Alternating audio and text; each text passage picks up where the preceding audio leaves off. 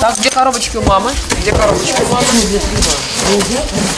Один набор для дочери Екатерины, второй для сына Дениса. Дети Людмилы Тарасенко в самоизоляции не скучают. Занимаются музыкой и спортом. К вынужденным ограничениям относятся с пониманием. Мы еще раньше даже ушли, потому что все-таки у нас дедушка еще, на всякий случай, чтобы не заразить. Поэтому мы, мы все, все-таки и средства защиты, и дома я только выхожу, если я, и то в редких очень случаях там в аптеку, в магазин, все.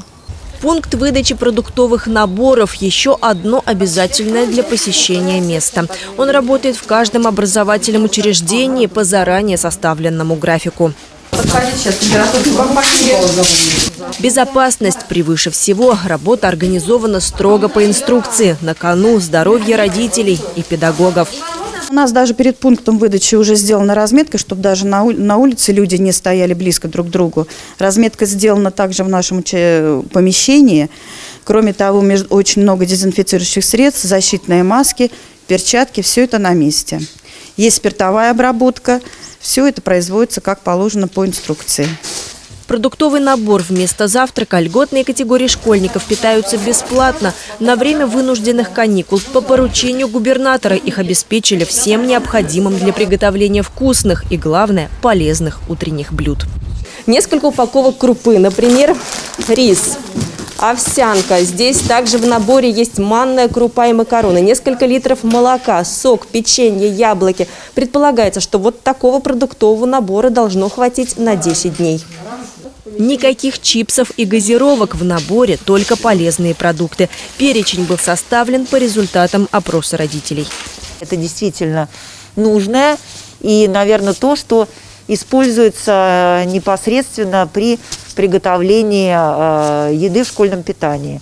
Ну и был определенный опрос тоже среди родителей, наверное, среди детей о том, что бы хотелось включить. Безусловно, мы не включаем сюда какие-то продукты, которые не разрешены по Санпину, да, которые не могут использоваться в школьном питании. В Одинцовском округе таких наборов приготовили 24 тысячи. Только в седьмой гимназии в списках 508 человек. Выдача проходит в штатном режиме. Никаких очередей. В этом убедился глава муниципалитета Андрей Иванов. С инспекцией он побывал в нескольких школах города. Никаких очередей нет. Все э, проходит в спокойной обстановке. Здесь э, работают на выдаче наши э, педагоги добровольно. Я каждого спросил, потому что появилась информация в социальных сетях о том, что мы заставляем э, наших э, сотрудников э, заниматься выдачей данных продуктовых наборов в режиме самоизоляции. Эта выдача продуктов, вероятно, не последняя. Набор рассчитан на первые 10 дней режима самоизоляции, который позднее был продлен до 1 мая. Евгения Августина, Станислав Трифонов, телекомпания «Одинцова».